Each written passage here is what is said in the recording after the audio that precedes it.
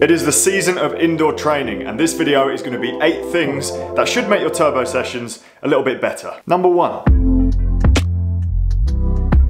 Cooling and ventilation.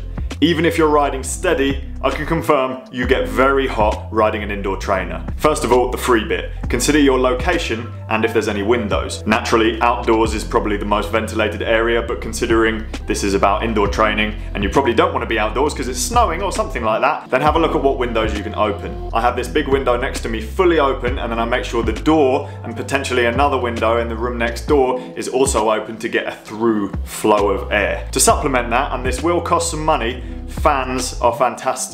Now, this is a wind machine style fan you can get from most normal shops. They cost about 40 pounds and I have one, two, three, four of these in this room. I tend to position one directly facing at me, blowing air from the open window, and then I have the others positioned around, cooling different parts of my body as I do the session. The problem with these is that when you start your session, you're not cold yet, so you don't really want the fans on, and then you have to jump off the turbo, switch them on, but there is a solution to this. You can get a remote plug. These are fairly cheap and a worthy investment if you're going to be doing a lot of turbo training. You plug it into your wall socket, then plug the fan in, and then you have a remote control where you can switch the socket on and off. Really good once you've warmed up to then have the fans to kick in. The premium option is a thing like this. This is a VacMaster made by Cleva. Cardio 54, 54k an hour fan. And I think they used to make building stuff, but this one is marketed for cyclists, so it has different power levels, blows much stronger air than the fan behind me, and has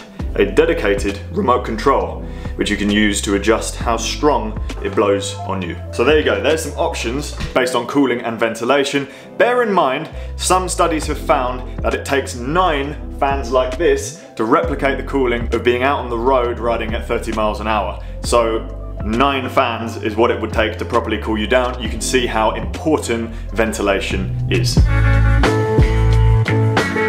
Even with really good cooling and ventilation, I end up getting through a lot of water during a turbo session. The last thing you want to be doing is stopping halfway through an interval, getting off the turbo and filling up your water. So prepare a few water bottles before. I would recommend if the session is long, alternating each bottle between electrolyte mix and water, because you're going to end up sweating a lot. I always have them conveniently on a table right in front of me so I remember to drink usually four 600ml bottles for a two hour session if I'm doing efforts, and I always end up drinking more if I have a little bit of squash or cordial inside the bottles. It just reminds you to drink. Convenience is key here. Put your food and drink somewhere that's easy to reach and you will end up using it more.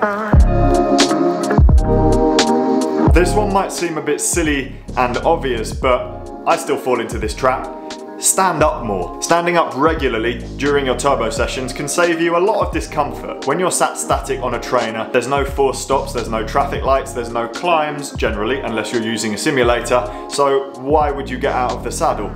You need to remind yourself to every now and then get out of the saddle, be a bit looser on the bike and you're going to be more comfortable. The Tacx Neo that I have here does actually have a little bit of lateral movement, but it's still a good idea to get out of the saddle every so often. Give yourself a break from sitting and stand up every 10 minutes or so. You can set up a reminder on your head unit if that helps. Direct drive indoor trainers. So as you can see here, there's no back wheel on my bike. A direct drive turbo trainer fits directly where the back wheel would be. So your drivetrain is linked directly to the turbo trainer. What this means is, you won't be wearing out your rear tyre, which is generally how other turbo trainers work. They'll generally be a lot quieter, they'll generally feel a lot more realistic, and they'll more than likely have a much higher maximum power that they're able to produce resistance against. This one, for example, is a Tacx Neo 2T, so this is the top end one from the Tacx line, and it is rated at 2,200 watts as a limit. Chances are I am never going to reach that limit, which is very sad. I mean, you'd have to be like a proper track sprinter to even get close. With wheel on turbo trainers, generally the limit will be a lot lower because there'll be wheel slippage because literally the friction of the turbo trainer pushing against the tire. So as soon as you go direct drive, you solve a whole lot of problems and you end up with a nice, smooth, quiet and resistant turbo trainer. These Tacx ones here also have the added bonus of not needing to be plugged in to work. So you can literally take these to a car park at a race and warm up without having to plug it in anywhere, which is really handy. Most direct drive turbo trainers will also be smart turbo trainers, which I'll touch on further down this list. Don't underestimate rollers. They're probably the most convenient and cheapest way to get into indoor training. They're comprised of a frame, three rollers, and an elastic band, which gets your front wheel to spin when you're riding them. They're a very popular choice with bike racers because they're very light, easy to carry to a race, and warm up on before an event. But I think they're often overlooked when it comes to indoor training. They do have very little resistance, so doing a hard session on these can be quite challenging. You also have to balance on them, so sprinting out of the saddle can be a little bit tricky too. But what they do offer is a unique feeling, excellent platform for steady efforts, and a very small footprint. Now, it's probably worth borrowing a set before you commit to buying some because some people just don't get on with them. It doesn't exactly feel like riding a bike outside even though it looks like it. The way your front and back wheel react on the road isn't the same when you're riding a set of rollers so some people really struggle to get the motion down. Definitely worth considering if you're on a budget. The ones I have here are slightly more expensive than the basic ones from Tacx. These are the Galaxia and they actually have a bit of forward and backward motion to make them feel a little bit more realistic. They do a more basic version as well. If you are buying some, maybe consider ones like the Tacx because they have a concave shape to the roller, so it kind of pushes you back into the middle and makes it easier to balance on them. Smart turbo trainers. If you're new to cycling, you might not have come across these before, but they're essentially controllable turbo trainers. A smart trainer can be controlled by your devices, so phone, tablet, PC, head unit, or smartwatch. Generally, it will do this wirelessly either through Bluetooth or ANT Plus and unlock a host of different features. Most smart turbos will measure your power, allow you to vary resistance, and let you connect to third-party or external apps like workouts or even simulations, which I'll touch on further down this list.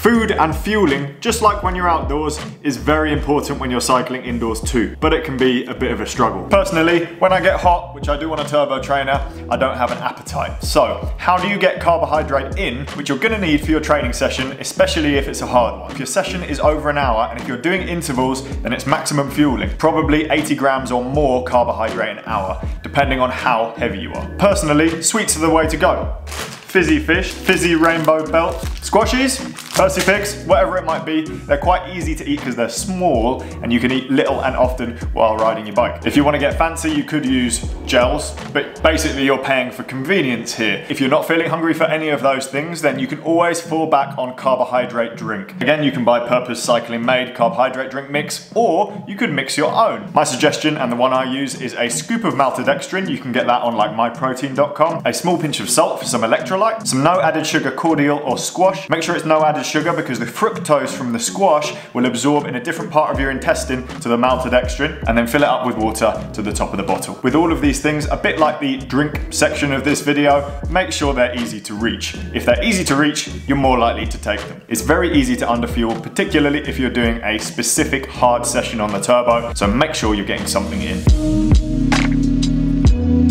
Zwift, Rouvy, RGT cycling, these are all simulations. So basically, a video game that you can play while riding an indoor trainer. You don't actually need a fully fledged smart trainer to be able to use these simulations. All you need is a power meter so it knows how hard you're trying on the turbo so it can relay it into the uh, virtual world but you're gonna have the best time if you are using a smart turbo trainer. Most of them function with a monthly fee, but the features they now offer over the last few years have become absolutely ridiculous. Zwift's racing feature, for example, means you can actually race people in real time over the internet anywhere in the world. There are even professional racing teams doing esports competitions now where there's real money at stake, proper sponsorship, it's cool. If you have a smart turbo trainer, obviously the resistance will vary depending on what terrain that you're riding in. So if you want to ride up Alpe d'Huez, there's the equivalent of that inside Zwift, and you can choose how realistic you want the gradient to be. The amount of power you're putting out dictates how fast you go, so then you can compare your times up famous climbs